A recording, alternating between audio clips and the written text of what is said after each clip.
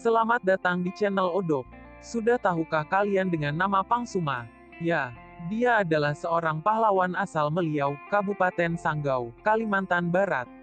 Ketika membahas soal pahlawan Indonesia, mungkin yang muncul di kepala kita adalah sosok Panglima Sudirman, Cut Nyadin atau Diponegoro. Namun, pernahkah kita mengingat betapa besar jasa Pang Suma? Barangkali namanya saja masih terdengar asing di telinga ya. Padahal, Pang Suma adalah salah satu pahlawan yang kiprahnya tak main-main dalam membela negara ini. Pang Suma merupakan patriot asal Kalimantan Barat. Sosoknya yang begitu kuat membuat nyali Jepang menciut. Jasanya begitu besar bagi bangsa Indonesia. Namun mirisnya, masih jarang yang mengenal pejuang ini.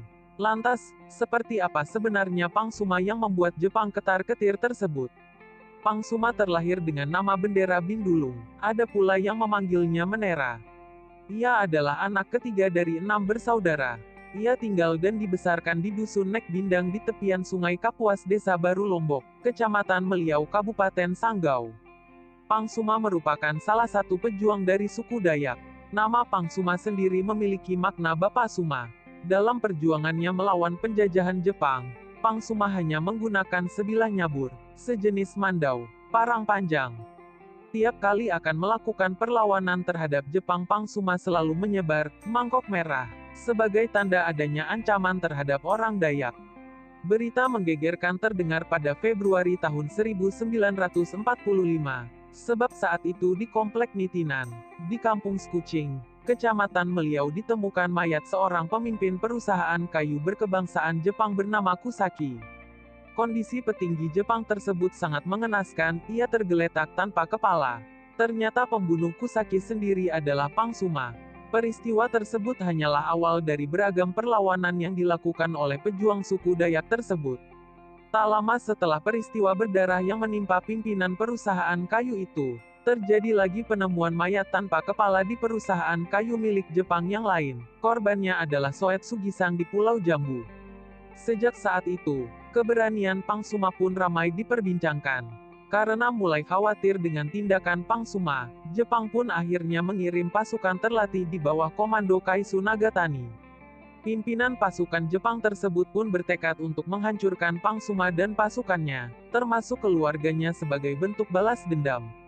Sampai di perkampungan Meliau, mereka menjadikan salah satu rumah pedagang China sebagai markas.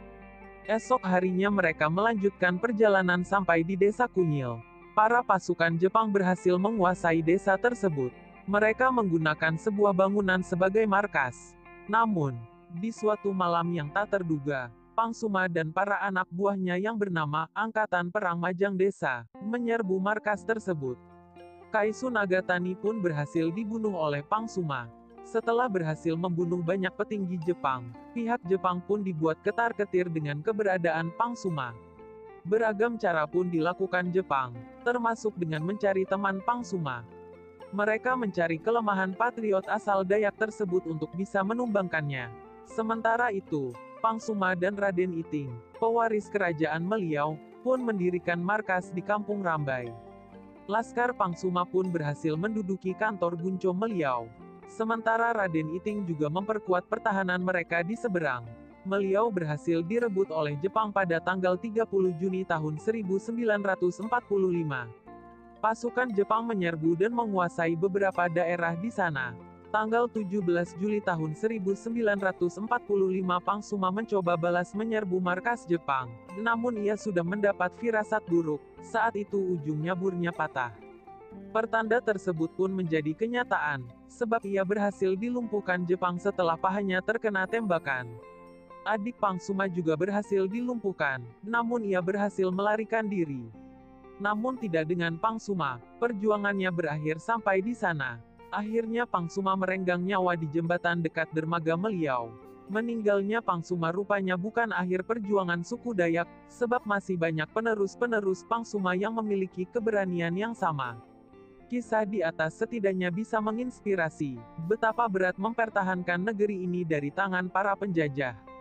Sebagai generasi penerus yang tinggal memetik buah perjuangan para patriot, patutlah kita bersyukur dan menjaga kemerdekaan ini. Tak hanya itu, kita seharusnya juga turut membanggakan para pahlawan seperti Pang Suma yang ternyata tidak banyak diketahui. Ada banyak tokoh lain yang juga melakukan perjuangan hebat tapi ternyata tak banyak dikenal. Terima kasih sudah menyimak sejarah tentang Pang Suma. Saksikan juga